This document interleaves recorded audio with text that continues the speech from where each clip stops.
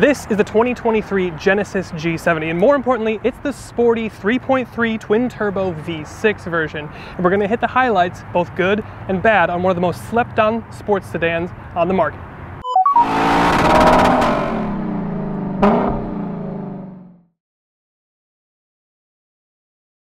The Genesis G70. It's been around long enough to receive a pretty significant mid-cycle refresh, but it is technically still in its first generation. We've been all over the pre-facelift car, Paulo owns it, and we've done a head-to-head -head comparison against the BMW M340, which is probably the undisputed segment leader here, but this is a really, really, really close competitor. So we're gonna cover the best and the rest, starting with the rest.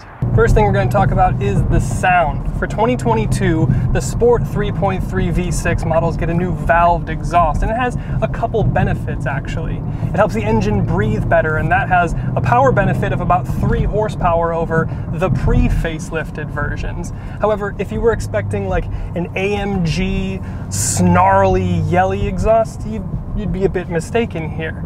The sound itself is nice, but I would just like a little bit more volume. And then number two won't come as a surprise to anyone familiar with the G70 platform. It's a pretty kind of cramped rear seat. This is a beautifully proportioned and designed car. It's got an excellent balance and somewhere within that recipe, well, the back seat became less important than the performance and the balance of the car. And you kind of feel that a little bit, although I will say the seating position here is very good. Myself at 6'1", I still have about an inch of knee room, but if somebody over 6'1 was driving, I would be a little bit tight back here. And number three, we're gonna talk about the engine, and this is less of a negative and more just kind of a general wondering. You still have here on this facelifted version, the 3.3 liter twin turbocharged V6. It's a perfectly peppy engine. It makes about 365 horsepower and 376 pound-feet of torque. Goes through an eight-speed gearbox all four wheels. Zero to 60 is done in about four and a half seconds, so it's a still a pretty competitive engine, but the question that I'm asking Genesis is, you have a 3.5 liter twin turbocharged V6 for your new GV70, G80, and GV80. So why did that engine not find itself under the hood here? Now my guess is that this being a facelift, still part of the same first generation, this would come into the second generation. But by the time we get a second generation of G70 here, I'm expecting things like plug-in hybrids and hybridized powertrains. So I guess if it were me, maybe it's a nitpick, but I would have liked to see that 3.5 under the hood here rather than the 3.3, but still a nice and peppy engine. And fourth and finally, and this may be a little bit of a nitpick, but on the GV70, the SUV version of this, you got a fully digital gauge cluster and you had this really interesting 3D gauge cluster. It was maybe more of a gimmick than an actually practical application for a gauge cluster, but it still looked cool and it was something that I really liked about my time in the GV70. And here, you don't get the 3D gauge cluster and you don't even get a fully digital gauge cluster. This thing is totally optioned out and you get like a two-thirds digital gauge cluster. Again, maybe a bit of a nitpick, but something I would have liked to see is a fully digital cluster here. But that means that there's a lot of good stuff going on here, so let's talk about that. Number one, it's immediately obvious, and it's the looks. For 2022, with the mid-cycle refresh, they made one of the more aggressive updates to a mid-cycle refresh that I've ever seen. And they brought the styling in line with the new Genesis design language. It's not like the old car was ugly, it was a pretty handsome car, but this, this is a step up. You get the typical Genesis quad headlamps we're familiar with now. You have the big shield-shaped grille that we've seen from other models. The front end is really clean and elegant while not losing the aggressive nature. Around the side, it's a very familiar shape. Of course, you do get new wheel designs, but the biggest change is the removal of the boomerang from behind the front wheels. I will miss the boomerang personally. The profile looks very sports sedan. It's very 3 Series in its shape. The rear design mirrors that of the front with the quad taillights. You do get Genesis spelled out on your trunk now though, and your license plate moves from the trunk to your lower diffuser and bumper area, and it's sandwiched between a very big dual oval exhaust. Overall, it's a very handsome car that looks not only expensive, but fast too. Number two, we'll talk dynamics. We talk about how this car still gets the 3.3 rather than the 3.5 V6, but it's still a perfectly good engine if I'm honest. It's got great low end torque, it pulls nice and clean and predictably all the way up, and it's properly quick.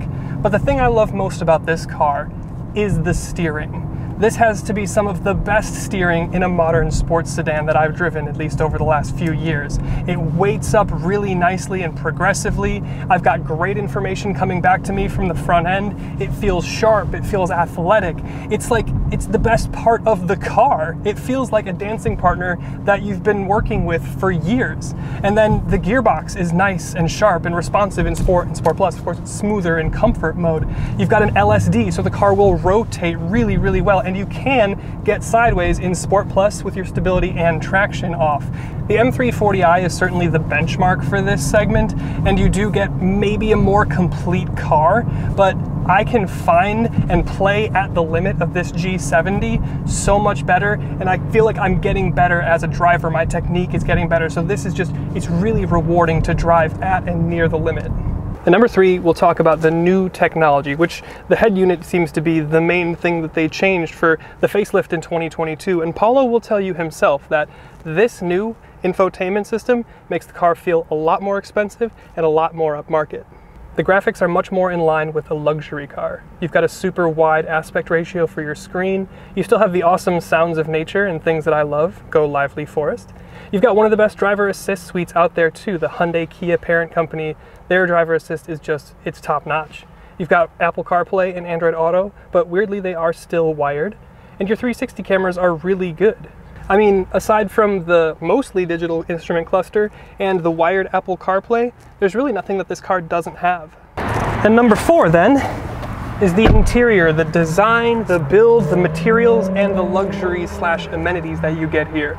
Aside from a marginally cramped back row, this is a really impressive interior.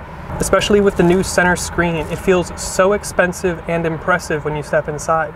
It's almost identical to the pre-facelift, but that means you get really impressive quilting on the seats, you get expensive looking and feeling aluminum brightwork, you've got the three-pod Audi R8 looking center stack, you've got a panoramic roof, kinda, and you get heated and cooled seats, a heated steering wheel, and you can get all of that wrapped in white leather, which gets me every single time. Really well done cabin.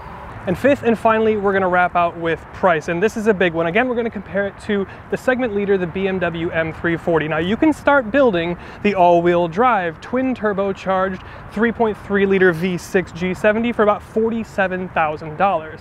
On the flip side, you can start building an xDrive M340i for about $58,400. That represents over $10,000 difference when you start building the sporty V6 or inline 6 version of each of these cars.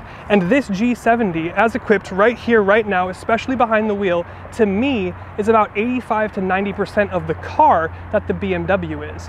Maybe the BMW is a bit quicker, but you can get a pedal commander unit for your G70, and we have done some really impressive and seen some really impressive results from the pedal commander in Paulo's G70. So if you need a little extra performance, get one of those. We've got a discount code down in the description below. But no, honestly, if you're going to want to get the most out of your car as a driver, I feel so much more at home near and approaching the limit on this G70 than I do in the M340. So this is a really compelling car and I'm really impressed. So that's it. That's the best and the rest from the new G70, at least in all-wheel drive 3.3 twin turbo V6 form. Again, it is a huge bang for your buck. When you consider the price difference between this and a BMW M340, you're getting so much car here. And for the near and at the limit, if you're gonna track your car at all or do any sort of driver improvements, this is gonna be a great companion to you. So again, I'm really impressed. Nice job, Genesis.